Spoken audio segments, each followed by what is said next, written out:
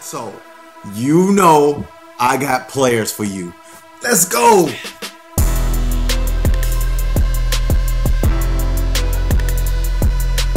There's over 5,000 college basketball players.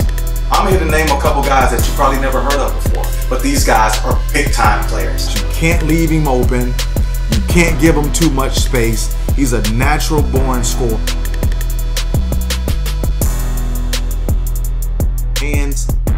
Calculated, they're smart, they're fearless, and they're aggressive.